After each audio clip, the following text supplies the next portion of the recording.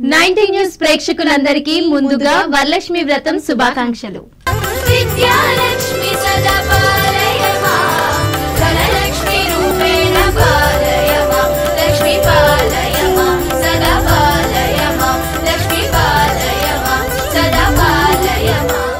శ్రావణ మాసం రెండవ శుక్రవారాన్ని ఆడవారు ఎంతో ప్రీతికరంగా భక్తి శ్రద్ధలతో వరలక్ష్మి వ్రతం జరుపుకుంటారు. ఈ శ్రావణ మాసం రెండవ శుక్రవారం జరుపుకునే వారు వరలక్ష్మి పూజ వలన స్త్రీలకు అష్టైశ్వర్యాలు ముఖ్యంగా ఐదవతనం సిద్ధిస్తాయని ఒక నమ్మకం. ఈ వరలక్ష్మి వ్రతాన్ని పార్వతీదేవి కూడా ఆచరించడం వలన కుమారస్వామి జన్మించారు. పరమేశ్వరుడు ఒకనాడు తన భస్మ సింహాసనంపై కూర్చుని ఉండగా నారద మహర్షి ఇంద్రాది దిక్పాలకులు పరమేశ్వరుని కీర్తిస్తున్నారు.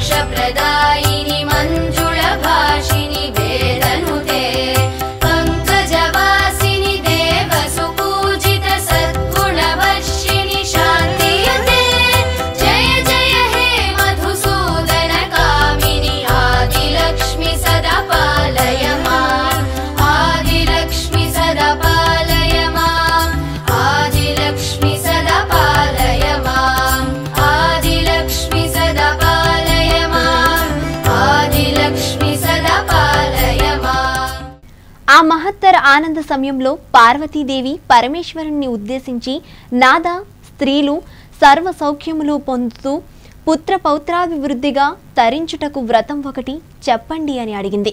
అందుకు పరమేశ్వరుడు దేవి నీవు కోరిన విధంగా స్త్రీలకు సకల శుభాలు కలిగించే వ్రతం ఒకటి ఉన్నది.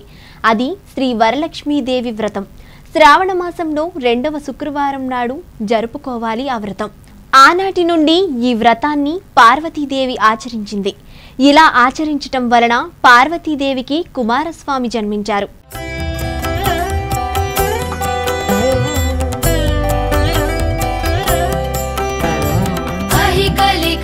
अहि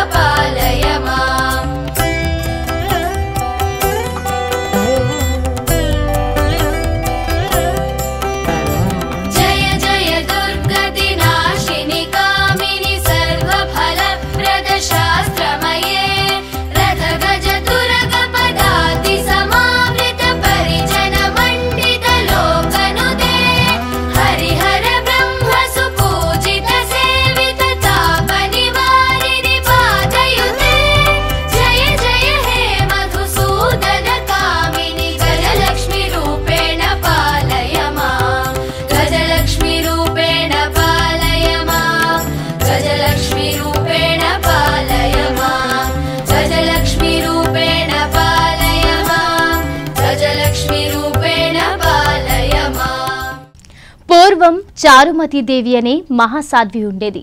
ఆమె యొక్క భక్తికి మెచ్చి పార్వతీదేవి స్వప్నంలో సాక్షాత్కరించింది. చారుమతీదేవికి ఈ వరలక్ష్మి వ్రతం యొక్క పూజా విధానాన్ని విశిష్టతను చెప్పింది. ఈ వరలక్ష్మి వ్రతం చేయటం వలన స్త్రీలకు అష్టైశ్వర్యాలు భోగభాగ్యాలు ముఖ్యంగా సంతానం లేని స్త్రీలకు సంతానం కలుగుతుందని మరియు సౌభాగ్యం సిద్ధిస్తుందని పార్వతీదేవి చారుమతీదేవికి ఉపదేశించింది.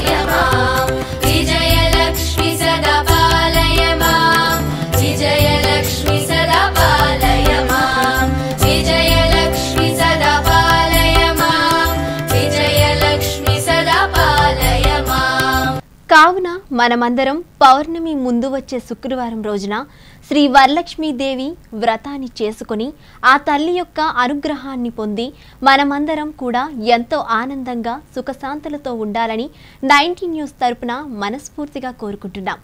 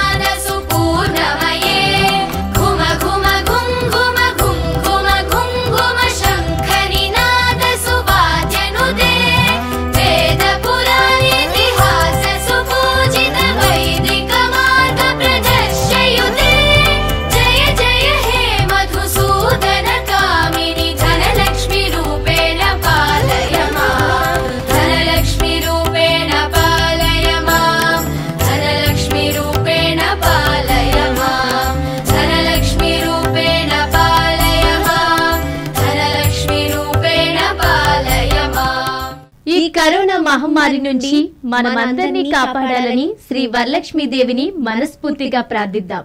ఆది లక్ష్మి సదా